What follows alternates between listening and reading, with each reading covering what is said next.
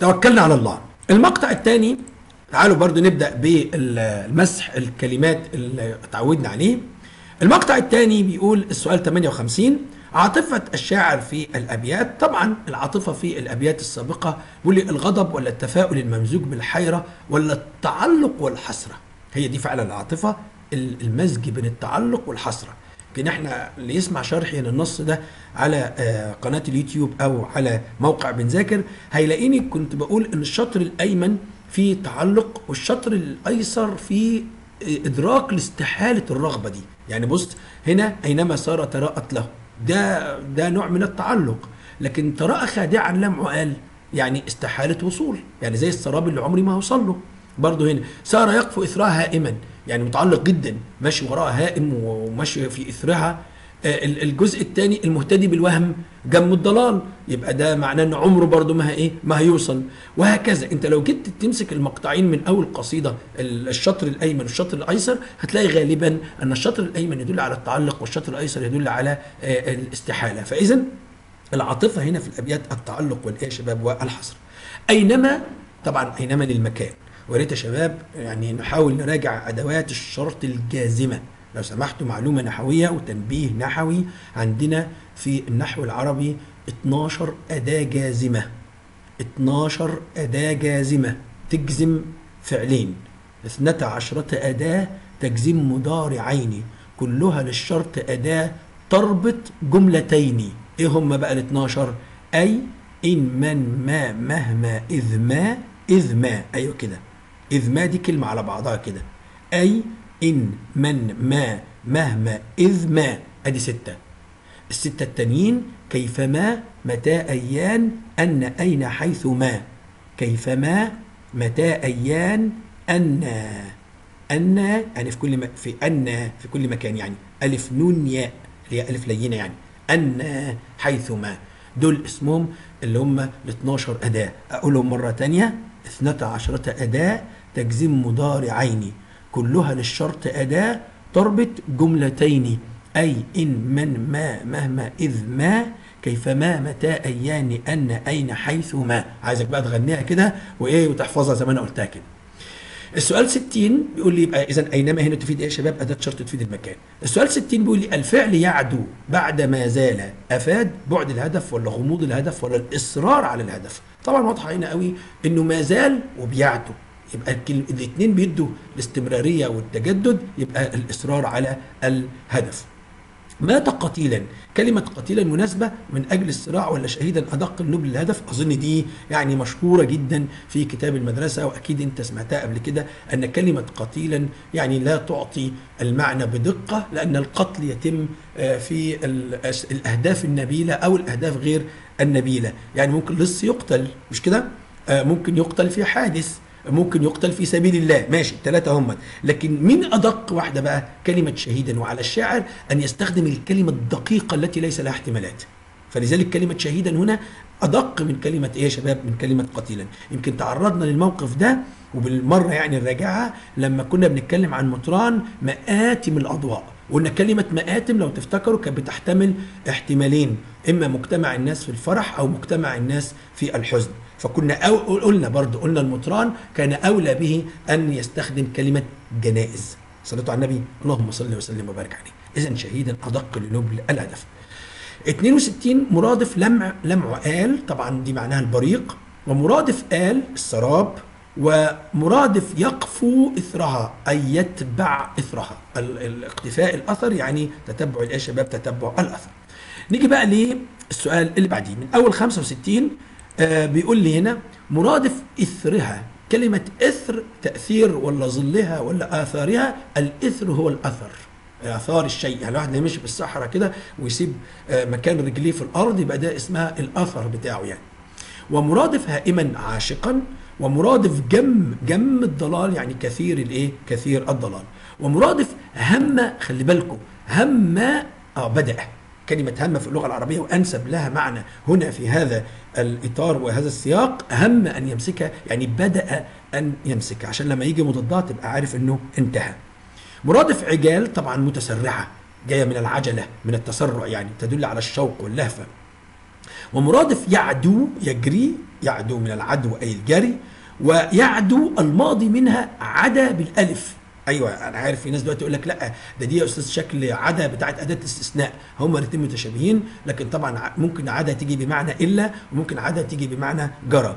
لكن هنا مرادف فعلا يعدو عدا ودايما يا شباب لما بيبقى في المضارع يعني لو المضارع فيه واو تلاقيها تتقلب في الماضي ألف. ينمو نما يعدو عدا يرجو رجاء في الثلاثي طبعا في الفعل الثلاثي يعني.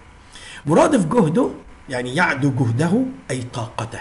الجهد هو بذل الطاقة. ومرادف هوى هوى هنا ساعات خلي بالك بتيجي بمعنى احب وساعات تيجي بمعنى سقط فلذلك هوى هنا هوى هنا بمعنى سقط من فوق تلك التلال. وخلي بالك من المصدر. كان أذكر إنها جت في مرة في أوائل الطلبة. كان يعني في برامج كده بعض البرامج الجميلة اللي هي عن أوائل الطلبة كان في في قناة معينة. فكان السؤال عجبني فبقول له المصدر من هوى في الشعر سورة الكمال. قال له المصدر من هوى المصدر هو مفعول مطلق يعني من هوى. إيه هو؟ آه كان طبعا الطلبة قعدوا يقولوا هواء ولا طبعا المصدر من هوى هويا هوى هويا لأن في هوى هوى هوى أقول هوي هواه هوى شديدا أي أحبه حبا شديدا. المصدر من هوى بمعنى أحب هوى لكن المصدر من هوى بمعنى سقط هويا. يعني هي كانت استطراد كده صحيح مش في الأسئلة لكنها هي معلومة إثرائية ممكن تضاف ليك. السؤال 74 بيقول لي مضاد تراءت طبعا تراءت يعني ظهرت يبقى عكسها اختفت ومضاد خادعا. الخداع عكسه الصدق يا جماعة. مش واقعيا لا الواقعي عكسه الخيالي. تمام؟ والطيب عكسه الخبيث. يبقى هنا كلمة الخادع عكسها الصادق. ومضاد اللمع لمع قال يعني اللمع ده البريق يبقى مش مجرد البهوت. شيء باهت لا الاكتر من باهت بقى كمان الانطفاء التام. إنما الاختفاء دي لا الاختفاء ديت يعني في الظهور والاختفاء مش في الألوان ظهور الجسم بكامله أو اختفائه آه فلذلك أقرب حاجة لمضاد لمع رغم قربهم من بعض هي كلمة انطفاء. مضاد يقفو إثرها. أصل يقفو يعني يتتبع الأثر. يا جماعة لو سمحتوا مش يفقد الأثر. لا يفقد الأثر عكسها يجد الأثر. فقدت الشيء عكسها وجدته. لكن اقتفي الشيء يعني هو قدامي وأنا بتتبعه وبعدين هو قدامي وتركته. فعشان كده يترك. معلش أنا بفصل ليه اخترت الكلمة؟ علشان برضه أشغل مخك وعشان الناس اللي ممكن ما تكونش مقتنعة. يبقى يقفو يا شباب يترك. إنما يضل لا خالص يضل عكسها يهتدي. نيجي بقى للسؤال اللي بعديه. برضه ما زلنا في معركة الاختياري من السؤال 78 سؤال 78 بيقول لي مضاد دائما سعيدا ولا مبتعدا ولا نافرا؟ هنختار نافرا لأن النفور معناه الكراهية وكلمة هائم كانت بمعنى عاشق يبقى عكسها نافر أو كاره. مضاد الجم قليل طبعا. مضاد الضلال الواقع ولا الصدق ولا الهدى؟ الهدى. مضاد همه إحنا كنا قلنا همه لو تفتكروا بمعنى بدأ يبقى عكسها انتهى. مضاد عجال أي المتسرعة يبقى عكسها البطيئة. ومضاد هوى فاكر؟ سقط يبقى ارتفع صح كده؟ جمع هائم كلاهما صحيح. يجوز جمع هائم على هيام وهيم. ولو عايز تجمع جمع مذكر سالم كمان تقول هائمون. جمع جم انتبهوا بقى السؤال 85 ده لو سمحتوا انتبهوا كلكم ويا ريت تدونوه عندكم في ملاحظاتكم إن جمع كلمة جم جم يعني كثير هؤلاء جم الضلال يعني كثير الضلال يا دوبك ضمة بس. مفرد عجال كلاهما صحيح. لو رحت المعجم هتلاقي عجلة وعجلة كلاهما صحيح. مفرد تلال تل مفرد أماني أمنية لأن منية جمعها منى ومنية جمعها منايا اللي هي الموت. فمفرد أماني أمنية. مفرد الطوال كلاهما صحيح. كلمة طوال مفردها طويل أو طويل. كده الحمد لله إحنا خلصنا معاني الكلمات ومضاداتها وجمعها. تعالوا بقى نروح لمناقشة بلاغية للفقرة أو المقطع التاني. بيقول لي توحي أينما بي. انتبهوا بقى وتذكروا إن أينما أصلا أداة شرط زي ما قلنا صح؟ أينما سار تراءت له. يعني في كل مكان بيمشي بيلاقيها. يبقى فعلا كده تفيد التلازم المستمر. تفيد تلازم الشيء لصاحبه. حرص الشاعر على عدم المبالغة في التعبير فعلا الشاعر حرص على عدم المبالغة في التعبير والدليل على ذلك أنه أنهى القصيدة نهاية منطقية فالشاعر لم يصل إلى هدفه. لو كان عايز يبالغ كان ممكن يوصل الشاعر لحلم الكمال بتاعه لكن هو اتعامل مع الموضوع ليس بالمبالغة وإنما بالواقعية. وكتاب المدرسة على فكرة كاتب الجملة دي كده من ضمن خصائص الشاعر في التعليق كده أو من ضمن خصائص أسلوبه والمدرسة عدم المبالغة في التعبير. سؤال 92 بيقول لي لم يوفق الشاعر في تتابع ألفاظ البيت الثاني. تعالوا كده نشوف البيت الثاني عشان نفهم إحنا بنتكلم على إيه. البيت الثاني طبعا من المقطع ده يعني. اللي هو فصار يقفو اسراها هائما والمهتدي بالوهم جم الضلال. فعلا البيت ده أنا عارف إنه عندي فيه مشكلة. لو تفتكروا صح لم يوفق في تتابع ألفاظ البيت الثاني. فاكرين تتابع حرف الهاء أدى إلى ثقل موسيقي. افتكروا الحاجات دي. 93 بيقول اقتصرت القصيدة على الخيال الجزئي خطأ طبعا لأن إحنا عارفين من قصيدة المساء لقصيده النصور يعني من مطران للواقعية كله خيال كلي. يعني خلاصة القول أنت عندك السنة دي ست قصائد. من غربة وحنين للنصور ست قصائد. خمسة منهم خيال كلي. واحدة بس خيال جزئي. اللي هي غربة وحنين هي الوحيدة اللي خيال جزئي.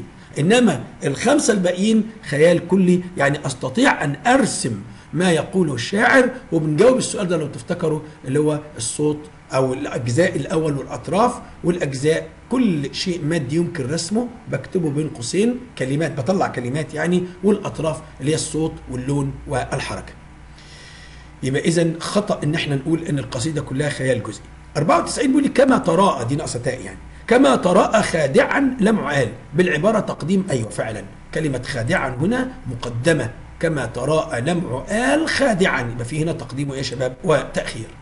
95 بيقول لي اللون البياني في البيت الأول. استعارة مكنية ولا تشبيه ولا طباق؟ تعال نشوف البيت الأول. قصده بإيه في المقطع ده؟ البيت الأول أهو. بيقول لي فأينما سار تراءت له كما تراءى خادعا لمع آل. كما. إحنا اتفقنا إن طالما ذكرت أداة التشبيه فعلا في البيت الأول كان تشبيه. اللون البياني في البيت الأول تشبيه. تمثيلي كمان. تمام. بيقول لي عدد الاستعارات المكنية في البيت الثاني ثلاثة ولا اثنين ولا أربعة؟ تعال نشوف بقى الأول كده البيت الثاني فين؟ البيت الثاني أهو. فصار يقفو إثرها هائما والمهتدي بالوهم جم الضلال أولا يقفو إثرها دي استعارة مكنية. كون إن الصورة لها أثر دي استعارة مكنية. المهتدي بالوهم استعارة مكنية. عشان أنا كده شبهت الوهم كأنه دليل أو الشاعر يعني شبه الوهم كأنه دليل وهو ماشي وراه. جم الضلال استعارة مكنية. عشان تشبه الضلال كأنه شيء مادي جم كثير يعني. اذا لو جيت اعدها اثرها استعارة مكنية المهتدي بالوهم استعارة مكنية جم الضلال استعارة مكنية يبقى فعلا هختار اللي هي الثلاثه ثلاث استعارات إيه يا شباب؟ ثلاث استعارات مكنية زي ما إحنا عاملينهم كده صح؟ بأيدي انعجال طبعا دي ما فيهاش أي استعارة ولا مجاز دي كناية. طب ليه يا أستاذ ما نعتبرهاش هنا مجاز؟ لأنه مش قاصد بيها الكل والجزء ده هو فعلا إيديه بترتعش أو إيديه متسرعة أو إيديه بتتحرك بسرعة عشان تمسكها. يعني فعلا هو قاصد إيديه. لكن لما أقول بقى مثلا بوركت الأيادي التي حررت مثلا البلد من الظلم يبقى معنى كده إن أنا كأني قصد الإنسان يعني. الناس اللي حررت البلد من الظلم فعبرت عنها بالأيادي يبقى كده جزء كل. لكن هنا أقصد فعلا أو الشاعر يقصد فعلا أن الأيدي كانت متسرعة للإمساك بالصورة.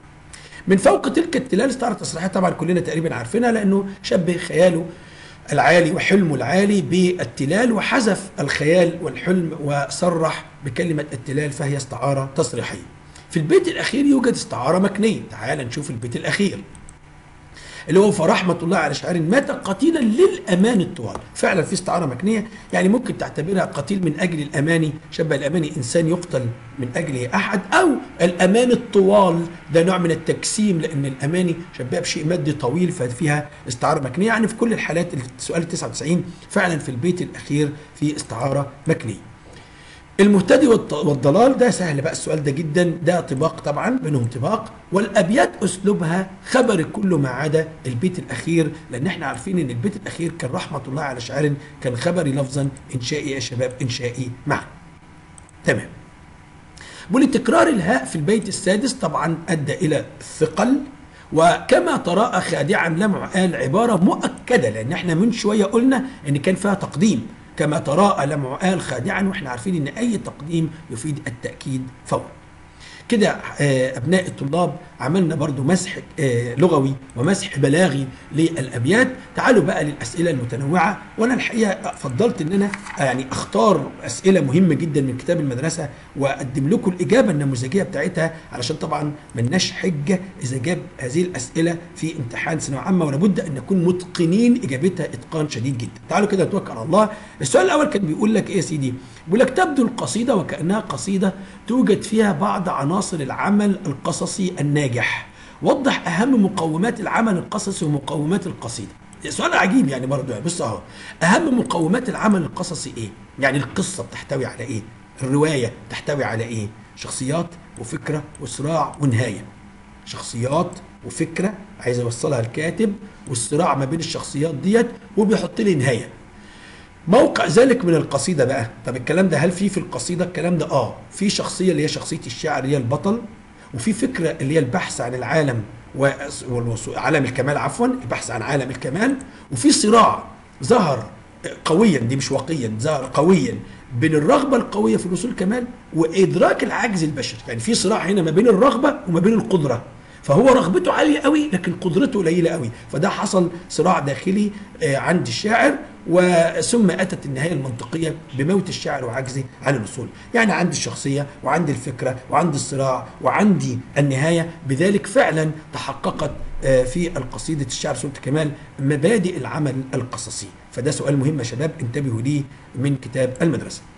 السؤال الثاني من كتاب المدرسة برضو جايب لي عشان ما نستغربش يعني عشان أحسن يجيب لي السؤال ده في آخر السنة آه، ومن حقه يجيبه اللي هي المقارنة سؤال الموازنة المقارنة. بص كده بيقول لك يخاطب مصطفى صادق الرفع نفسه قائلا يا نفس ويحك إن إني في الحياة فتى ماضي العزيمة والثاب فمقتحم. يعني أنا يا نفس أنا في الحياة دي فتى قوي عزيمتي قوية أه بقتحم الأهوال يعني. لا تعرضي لي لذات الهوى ابدا. يعني ما تطلبنيش باللذات وال- والشهوات.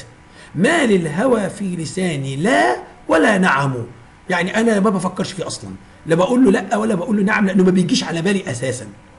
عبد الرحمن شكري بيقول إيه بقى؟ لم يعشق الغيد لكنه هام ببكر من بنات الخيال. عارفين البيت ده كلنا. إيه الفرق بين رؤية كل من الشاعرين لنفسه ولما ينشده؟ يبقى أنا كأني هشرح الابيات الأبيات الأولى بتاعت الشاعر وأشرح الأبيات الثانية وأحاول أتعمق شوية وأشوف إيه الفرق بينهم. تعالى كده نشوف إيه الفرق بينهم. رؤية الرفع لنفسه وما ينشده يؤكد الرفع على مقاومته لشهوات النفس عامة ورفض مبدأ الهوى جملة وتفصيلا.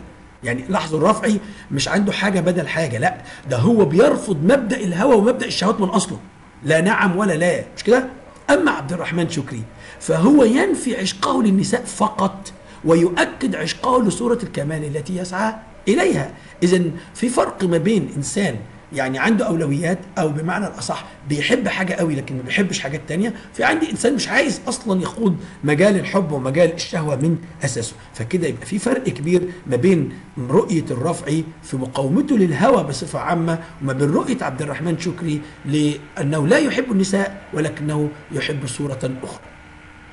السؤال اللي بعديه برضو من كتاب المدرسة كل دي أسئلة من كتاب المدرسة انتبهوا يا شباب. السؤال اللي بعديه بيقول لي يرتفع اللي هو السؤال رقم ستة حتى في كتاب المدرسة هتلاقيه كده. يرتفع مستوى الجودة عند بعض الشعراء إلى الدرجة التي يختارون فيها بعض الحروف بحساب. ناقش هذه العبارة في ضوء ملاحظتك لتكرار حرف النسق الفاء والواو في القصيدة. أظن الشع... أظن السؤال ده ممكن لو ما شفتوش وجالك في الامتحان ممكن يغمى عليك مثلا أو يغمى عليك مثلا. إيه يا أستاذ الكلام الكبير ده؟ إيه حرف النسق؟ يعني إيه حرف النسق؟ هتطلع تقول الامتحان صعب هتطلع تقول ما حدش اداهولنا هتطلع تقول ده من بره المنهج. السؤال من كتاب المدرسة. تعال نشوف إجابته بسرعة وانتبه معايا لو سمحت. حرف العطف الواو يدل على الاشتراك بدون ترتيب. أما فصار فأينما فسار فرحمة الله على شاعر. كل ده اختار الشاعر حرف الفاء للعطف في هذه الكلمات للدلالة على الترتيب والسرعة. إيه ده يا أستاذ؟ ده أنا كنت عارف الكلام ده. أن الواو تفيد الاشتراك؟ يعني جاء محمد وعلي يبقى الاثنين جم. وأن الفاء تفيد الاشتراك مع الترتيب مع السرعة. يعني جاء محمد فعلي يبقى اشتركوا الاثنين في المجيء واللي جه الأول محمد وبعدين علي والوقت بينهم قليل قوي. معروف كده الفاء تفيد التعقيب والسرعة. الفاء تفيد الترتيب والسرعة. الواو تفيد الاشتراك فقط. الاثنين ما نعرفش مين جه الأول وما نعرفش المساء الزمن بينهم قد إيه.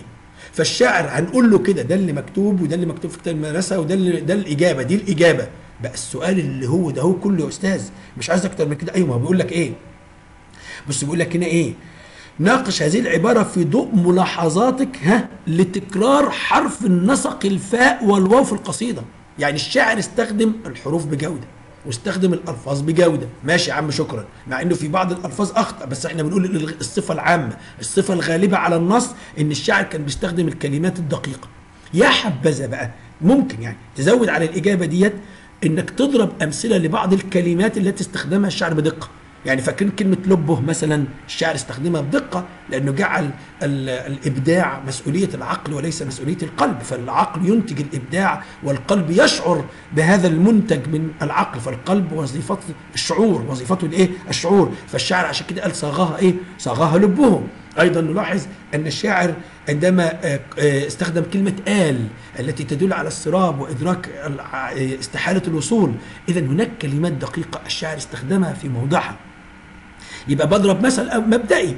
وبعدين أجي بقى عند حرف النسق. النسق دي حروف العطف. أقول له ببساطة شديدة جدا هقول له وظيفة الواو إيه؟ ووظيفة الفاء إيه؟ وظيفة الواو اللي هي اشتراك الأشياء مع بعضها في حالة ما بتدل على العطف والفاء الترتيب والإيه يا شباب؟ والسرعة. ساعات الأسئلة كتير كده بتبقى من بره هلا هلا ومن جوه يعلم الله. حقيقي أنا بقول الكلام ده عشان ما نتخضش من أي سؤال مهما كان. وأنا بحب بقى الطالب الدعبوس الطالبة الدعبوسة اللي بيدعبسوا كده في الكتاب ويبصوا على الأسئلة اللي جت في في كتاب المدرسة على النص ده إيه والأسئلة اللي جت في الأدب إيه ويبص في دليل التقويم ويبص في امتحانات ثانوية عامة. آه الثلاث مصادر دول أهم ثلاث مصادر. أهم من جميع الكتب الخارجية.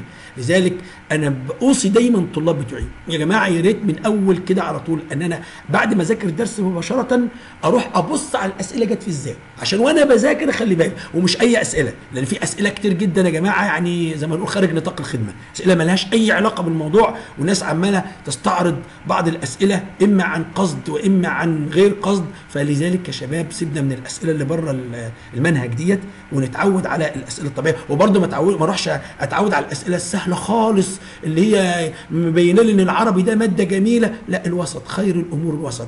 وأنت لو اكتفيت إن شاء الله إذا اكتفيت إن شاء الله بالثلاث مصادر اللي قلتهم لك إذا استطعت تحصل على دليل التقويم بالإضافة لكتاب المدرسة بالإضافة لامتحانات ثانوية عامة في كتب خارجية كتير وموجودة على النت وموجودة على موقع بنذاكر dot com بإجابتها النموذجية كمان.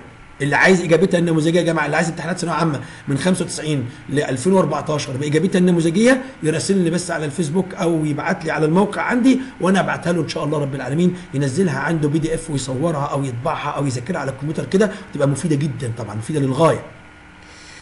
يلا بقى نكمل السؤال التاسع بقى بيقول لا تقتصر الأخيلة والصور الفنية في هذه القصيدة على التشبيهات والمجازات فحسب. بص كل ده عمال يرغي. يعني يعني ما تقلقش من الكلام ده ها يا عم.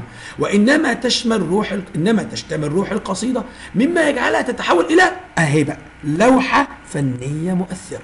وأنا دايما أقول لطلابي أول ما تلاقي كلمة رسمة أو لوحة تعرف إنه عايز الخيال الكلي.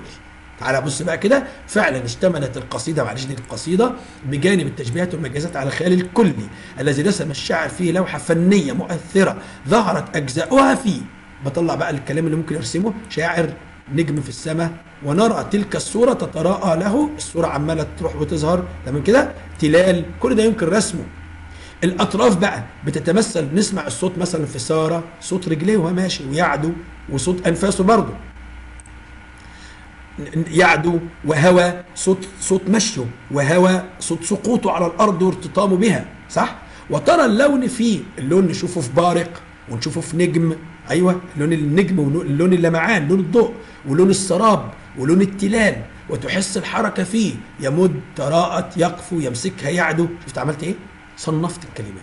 يعني الإجابة كلها في السؤال ده يا شباب مبنية على إن أنا أستخرج الأجزاء الأول اللي هي الشعر وكل شيء ممكن يمكن رسمه كل شيء مادي يمكن رسمه واستخرج الأطراف واقسم الأطراف لصوت ولون ويا شباب وحركة. ويمكن إن اتكلمت بسرعة على أساس إن أنا بكلم الناس عندها فكرة عن الخيال الكلي. لو ما عندكش فكرة عن الخيال الكلي اجري فورا على موقع بنذاكر واسمع التجربة الشعرية الجزء الثاني. هتلاقيني بتكلم باستفاضة وبتوضيح شديد جدا عن الخيال الكلي ومهمه شباب انتبهوا. نيجي بقى للأسئلة اللي بعدها. ما زلنا في سؤالين في كتاب المدرسة. انتبهوا بيقول لك إيه؟ بص كده السؤال العاشر في كتاب المدرسة. بيقول لك صورة حسن صاغها لبه وحدها في الحسن حد الكمال. ما نوع الصورة البلاغية في كلمة صاغها؟ طبعا استعاره مكنية. إيه قيمتها الفنية؟ طبعا تجسيم المعنى في صورة حسية توضحه. فهي استعاره مكنية هي آه، شبه صورة الكمال كأنها جوهرة تصاغ وتجسيم صورة الكمال في صورة حسية تبين روعتها إعراب في الحسن حاجة غريبة جدا. يعني بيقول لك السؤال بيقول لك إعراب في الحسن جر ومجرور. طب مبينا موطن الجمال فيها توكيد تقديم يفيد التوكيد والتنبيه. مفيش غير كده يا شباب. لو سمحتوا انتبهوا علشان السؤال ده برضه في كتاب المدرسة فلا بد إنك أنت تكون مطمئن إلى إنك بتعربه صح. إعراب في الحسن جر ومجرور. طب يعني شبه جملة يا أستاذ ما قلتش محلها إيه؟ لا أنت مش مطالب محلها إيه؟ هو مطلب ما قالكش محلها إيه؟ خلاص؟ طب مالها بقى ها وموطن الجمال إيه موطن الجمال فيها؟ مفيش لو مسكت من كتاب المدرسة لو دورت كده في كل قريت كده الشعر صوت الكمال هتلاقي الحتة اللي ذاكرها عن في الحسن دي قال لك إنها فيها تقديم يفيد التوكيد والتنبيه يمكن إحنا كنا عالجنا النقطة دي في الاختيار. طبعا لبه ولا عقله ده إجابة مشهورة ومعروفة. قلنا لبه لأنه هو المسؤول عن الإبداع أما القلب هو المسؤول عن الشعور بالإبداع. السؤال اللي بعديه بيقول لي السؤال 11 المهتدي بالوهم جم الضلال. بيقول لي حول. آه السؤال ده غريب. يعني أنا قصدت أجيبه عشان في ناس بتقول لك لا لا يا عم وإحنا هيجيب لنا مواضيع الانشا ديت والله يجيبه. وبحلف بالله يا جماعة السؤال ده من حقه يجيبه. إيه هو ده يا أستاذ؟ بيقول لك جاب لك جملة كده واقول لك المهتدي بالوهم جم الضلال. قال لك حول هذه الحكمة حول عفوا حول هذه الحكمة أكتب عشرة أسطر مستوحيا إياها من الأحداث السياسية على الوطن العربي إيه ده؟ ده بيربط جملة بيربط حكمة في النص على الأحداث الواقعية اللي بتتم, بتتم, حوالينا أنا ليه متحمس للسؤال ده؟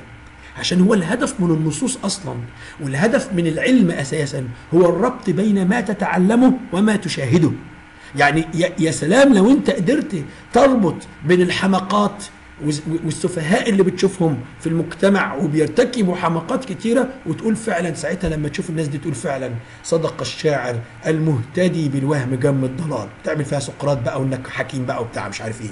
تعال نشوف بقى معلش كده تعال نشوف كده الإجابة ال ال النموذجية لهذا ال ال السؤال عشان نقدر إن شاء الرحمن الرحيم إن إحنا نجاوب عليه كم هؤلاء الذين يظنون أنهم يفيدوا أمتهم وهم لا يعلمون أنهم يهدمونها؟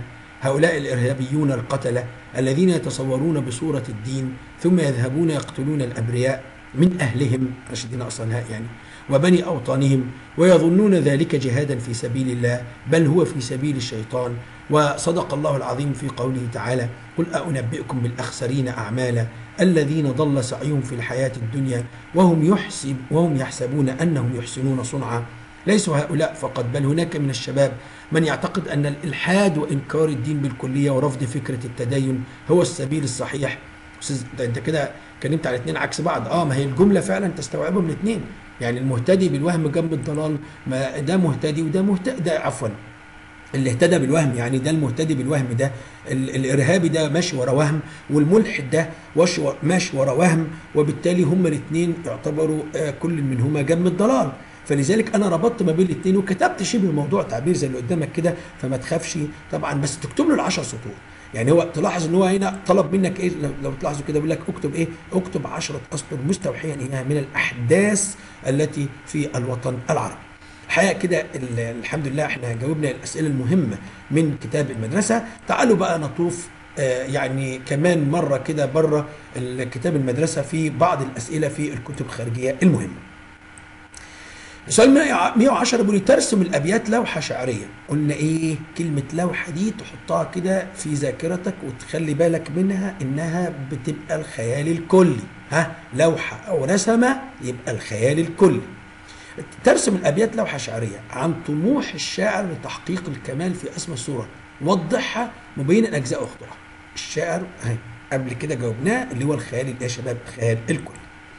تأثر الشاعر بالقرآن الكريم فمن أين تفهم؟ طبعا فاكر أنت تأثر في البيت الخامس لما قال آه، والمهتدي بالوهم جم عفوا لما قال آه، كأنما تراءى كما تراءى خادعا لمع قال تأثر بقوله تعالى والذين كفروا أعمالهم كسراب بقيعة يحسبه الظمآن ماء حتى إذا جاءه لم يجده شيئا هل نحفظ الآية يا أستاذ؟ أيوة نحفظ الآية لو سمحتم علشان نستشهد بيها وأرجو حفظ الآية بنفس كلماتها وعدم الزيادة والنقصان ما بينها. حتى أبنائنا المسيحيين معلش لازم يحفظوا الآية عشان يستشهدوا بيها في الامتحان. السؤال اللي بعديه بيقول والمهتدي بالوهم جم الضلال بين علاقة هذه الحكمة. بصوا بقى سؤال العلاقة ده أرجوكم لو سمحتوا انتبهوا ليه. سؤال العلاقة يعني نتيجة يعني تعليل يعني توضيح. يبقى أما أقول تبين النتيجة المحتومة التي يصل إليها كل من أصر على رسول الكمال يبقى كلمة إيه؟ ها؟ نتيجة. علاقة يبقى أول ما تلاقي كلمة علاقة في السؤال يبقى نتيجة تعليل توضيح. آه كمان تفصيل بعد إجمال إجمال بعد تفصيل اسمها علاقات. وأول ما تلاقي فاكر افكرك بقى أول ما تلاقي لوحة ها خيال كلي تمام كده. ما الفرق بين العالم المثالي الذي يتخيله الشاعر والعالم الواقعي الذي يعيشه؟ السؤال ده برضه ساعات كده الطالب يقول لك طب أنا أكتب فيه إيه؟ طب أعمل فيه إيه؟ تعال نشوف نكتب فيه إيه. الفرق بين العالم المثالي الذي يتخيله الشاعر والعالم الواقعي الذي يعيشه أن العالم المثالي عالم رائع ليس به نقص. بلغ من الحسن في ذهن صاحبه الوصول للكمال دي للكمال أما العالم الواقعي فكم يملأ هذا العالم من شرور وآلام ونقص؟ طبعا أنا ليه دست على الحتة دي؟ لأن هي دي سبب النص أصلا. يعني لماذا لجأ الشاعر إلى عالم الكمال؟ بسبب ما يمتلئ العالم الذي يعيشه الواقعي من شرور وآلام وممكن تجاوبها بطريقة تانية إنك تقول إن العالم الذي يريده الشاعر هو عالم خيالي لا يستطاع الوصول إليه.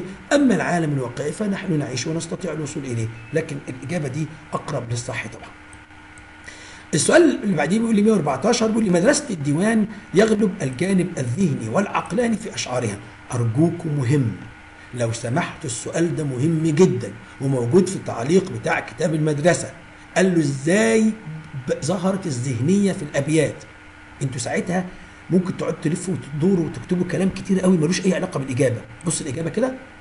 مدرسة الديوان يغلب الجانب الذهني والعقلاني في اشعارها ظهر ذلك. بص بقى في إيه؟ فكرة القصيدة فلسفية. تتمثل في تصميم الشاعر على تطلعه للأمان والبحث عن على مثال. عبارات القصيدة ذهنية. حدها في الحسن حد الكمال. لأن كلمة حد دي كلمة رياضية شوية. الحد الجبري والحد المنطقي ومش عارف إيه. يحسب النجم قريب المنال كلمة يحسب هذه الكلمة تدل كلمة عقلانية طبعا. المهتدي بالوهم جم الضلال الوهم والهدى والضلال كل دي كلمات تتصل بالعقل والفكر والحكمة أو عدم وجودها يعني. فإذا الكلمات ذهنية والفكرة ذهنية إذا تحقق فعلا الذهنية في هذه الأبيات. كلام ده كلام كتاب المدرسة. مش عايز بقى نفضل نشرح الأبيات كل حاجة تقريبا الطلبة يقول لك اشرح الأبيات. لا طبعا لو شرحت من هنا لبكره ومليت الكلام آه، ومليت الورق كلام مش هتحسب لك درجة. أكمل الفراغ فيما يلي هو ممكن يا أستاذ يجيب لنا أكمل الفراغ؟ آه لأن سهل أهوت ما فيهوش مشكلة يعني. رحمة الله على شاعرنا الأسلوب هنا إيه؟ خبري لفظا انشائي معنى والغرض منه إيه؟ الدعاء. هنا خبري لفظا انشائي معنى والغرض منه إيه شباب؟ الدعاء. السؤال اللي بعديه آه، ترسم الأبيات السابقة النهاية. خلي بالك هو لو كان قال لك ترسم آه، لوحة فنية كنا قلنا الخيال الكلي لكن هو بيتكلم عن مين هنا بس؟ عن النهاية المؤلمة. يعني هو السؤال هنا في النهاية. إيه هي النهاية ده وإيه رأيك فيها؟ طبعا أقول له انتهت القصيدة نهايه مؤلمة بسقوط الشاعر قتيلا وهي نهاية منطقية تتفق وقدرات الإنسان الذي سعى إلى ما يفوق. يعني يعني الإنسان هنا سعى إلى ما يفوق قدراته فلذلك كانت النهاية منطقية اثنين السؤال بيقول لي بقى بعد كده أيهما تفضل ولماذا؟ 117 بيقول لي ما زال يعدو أخذ يعدو مات قتيلا مات شهيدا. طبعا هنقول ما زال يعدو. ليه بقى؟ لأنها تدل على الاستمرار والإصرار. إنما أخذ تدل على مجرد البداية. فهو كان عايز يوري لنا قد إيه الشاعر بيبذل مجهود كبير. البداية لا تدل على بذل المجهود بل الإصرار والاستمرار هو اللي يدل على كده. طب مات شهيدا؟ طبعا لأن كلمة شهيدا توحي بنبل وعظمة الغرض الذي مات من أجله. أما قتيلا فلا تعطي مثل هذا الإيحاء لأن القتل قد يكون من أجل غاية شريفة أو دنيئة ملاحظين يا شباب إن لما بقول لك أيهما أفضل ولماذا أنا بجيب الاثنين. يعني ببين الميزة في دي وعدم الميزة في دي. أنا هنا اتكلمت عن يعدو أحلى علشان كذا إنما الثانية بتدي معنى كذا. هنا اتكلمت شهيد أحسن عشان كذا إنما الثانية بتعمل كذا. فأنتوا ساعات بتتكلموا على واحدة بس. لا المفروض أتكلم على الاثنين يا شباب. السؤال 118 بيقول لي ما مظاهر التقليد والتجديد في القصيدة؟ سؤال مهم وبيجي كتير. التقليد طبعا تأثره بالقرآن الكريم. لسه قايلينها من شوية بالآية الكريمة. أعوذ بالله من الشيطان الرجيم. الذين كفروا أعمالهم كسراب بقيعة يحسبه الظمآن ماء حتى إذا جاءه لم يجده شيئا. طبعا آه وحدة الوزن والقافية بعض الألفاظ التراثية القديمة شوية الخيال الجزئي من استعارة وتشبيه وغيره. طبعا على فكرة يمكن سؤال مظاهر التقليد والتقديم التقليد والتجديد ده تقريبا في كل نص. فانتبهوا ليه يعني. مظاهر التجديد عنوان القصيدة يعني في وحدة عضوية القصيدة كلها بتدور حوالين موضوع واحد يعني. الموضوع نفسه مبتكر في عالم الشعر إنه عايز يتطلع للموس العليا الخيال الكلي الوحدة العضوية البعد عن المحسنات البدعية المتكلفة. السؤال 119 كيف تحققت فيها الوحدة العضوية؟ أظن ده مثل اي نص. أصلا الوحدة العضوية بتتحقق بحاجتين يا جماعة. وحدة الموضوع وأذكر الموضوع اللي هو البحث عن الكمال. وأيضا من خلال جو نفسي واحد اللي هو التعلق الشديد وحب الشاعر لعالمه الجميل. يبقى أنا قلت كده موضوع واحد وذكرت الموضوع هو إيه وقلت جو نفسي جو نفسي اللي هو العاطفة يا جماعة. وقلت هي إيه. السؤال 120 بيقول لي السؤال بيقول لي الأول للشاعر رسالة يراها عبد الرحمن شكري بين رأيك في هذه الرسالة وما وسائل الشعراء في تحقيقها؟ عشان كده أنا وقفت قدام السؤال ده. رسالته كما يراها إن الواحد يبذل كل الجهد للوصول لأفضل ما يمكن. خلي بالك هو يعني كان رمز رمز محاولة الوصول للكمال كانت رسالة من الشاعر يقول لنا ابذلوا ما استطعتم من أجل الوصول إلى أهدافكم. ولكن أثناء ذلك لابد الرسالة بقى تكملتها خلي بالك. لكن على الإنسان أن يدرك ما يستطيعه وما لا يستطيعه. طب يعني الإنسان المفروض هو بيحقق أمنية أو هدف ما يحطش هدف أكبر من حجمه عشان يقدر يوصل له. وسائل تحقيق هذه الرسالة الكلمة الجميلة الصادقة من خلال القصيدة الممتعة. ده زي ما رأها زي ما رآها مين؟ عبد الرحمن شكري. عبد الرحمن شكري رأى أن الكلمة الطيبة وأن الكلمة الجميلة وأن القصيدة المفيدة هي وسيلة تحقيق توصيل رسالته إلى الناس وإلى كل من يقرأ هذا يا شباب هذا النص. السؤال اللي بعديه بيقول لي إيه بقى إيه؟ السؤال 121 بيقول لي أعرض بأسلوبك هذه اللوحة الفنية التي رسمها الشاعر. ها؟ إجابته تقليديه معروفة. إيه يا شباب؟ الخيال الكلي. ما هو بقول لك اللوحة الفنية التي رسمها الشاعر. اللي هي الأجزاء والايه يا شباب؟ والأطراف. ما القيمة الفنية لاستخدام أينما هوى ما زال؟ طبعا القيمة الفنية لاستخدام أينما فاكر؟ أينما تفيد التلازم صح كده؟ والنهاية المؤلمة في كلمة هوى وما زالت تفيد الإصرار على الوصول إلى الهدف. سؤال 123 بيقول لي ما المدرسة الشعرية التي ينتمي إليها الشاعر؟ وما أهم خصائصها خصائصها؟ وما مدى توافق هذه الأبيات معها السؤال ده يا جماعة برضه سؤال متكرر في كل القصائد. يعني من أول غربة وحنين لغاية النصور أسألك وأقول لك القصيدة دي تنتمي لمدرسة إيه؟ وإيه خصائصها اللي ظهرت فيها؟ يعني ده تطبيق الأدب على النصوص. يعني أنت حفظت أدب في المدرسة دي؟ وريني بقى شفته فين في القصيدة. زي ما انت درست بلاغة وعرفت التجربة الشعرية وعناصرها وعرفت الاستعارة والكنايه والكلام ده كله طب وريهاني بقى فين في القصيدة؟ يعني انت لو انت بتعرف تطبق الأدب والبلاغة على القصيدة خلاص القصيدة عدت معاني كلمات وتعليق. فانتبهوا يا شباب تعال نشوف بقى. طبعا الروح الرومانسية دي بقى خصائص المدرسة يبقى تنتمي لمدرسة الديوان دي مبدئيا يعني. ها؟ وبعدين أنا جبت الخصائص على طول لكن انت المفروض تكتب إيه الأول؟ ها؟ المدرسة الشعرية التي ينتمي إليها هي مدرسة الإيه؟ مدرسة الديوان. أهم خصائصها الروح الرومانسية التطلع للأفق والمس العليا طموح اللي بيتجاوز واقع عصره والوحدة العضوية تحققت وقلتها زي ما هي الكلام مكرر فعشان كده مش عايزة يعني أوجع دماغك بتكراره. القصيدة بعدت عن المناسبات الجانب الفكري واضح فيها اللي هو الذهنية فكرة القصيدة فلسفية أهو وعباراتها ذهنية تمام؟ حرص على عدم المبالغة في التعبير ظهرت سمة الحزن في هذا السعي الذي باء بالفشل وساعد على ذلك ألفاظ مثل كذا. يبقى أنا كده بينت له الخصائص التي ظهرت في النص أستاذ بيقول لي وما مدى توافق الأبيات معه طالما أنت جبت الخصائص وطلعت من الأبيات الكلام اللي أنا قلته الذهنية والفلسفية والفكرة والكلام ده كله يبقى كده توافقت الأبيات مع خصائص مدرسة الديوان ما عدا يعني حكاية الوزن والقافية طبعا لأنهم زي ما أنت فاكر دعوا إلى الشعر المرسل لكنهم لم يلتزموا بذلك. ما قيمة الفعل يعدو بعد ما زال قلناها يا جماعة؟ والتأكيد على إصرار الشاعر للوصول إلى هدفه. السؤال اللي بعديه بقى 125 بيقول لي حدد الأفكار الجزئية في الأبيات واذكر الترابط بينها. ما تستتفهش السؤال ده لو سمحت. بص كده أهو إجابة أهي. الأفكار الجزئية في الأبيات يعني إيه؟ يعني تقريبا بلخص كل بيت من المقطع الثاني في صورة آه، جملة. يعني افتكر الأبيات أصلا إيه؟ تعالوا نفتكر كده الأبيات مين؟ إحنا بنتكلم على الأبيات مين؟ عشان بس أفكرك أنا بتكلم على مين قبل ما ناخد فين؟ في الأسئلة. أهي الأبيات اللي بتبدأ ب فأينما سار لغاية الأمان الطوال. تعال بقى نشوف اللي هي المقطع الثاني.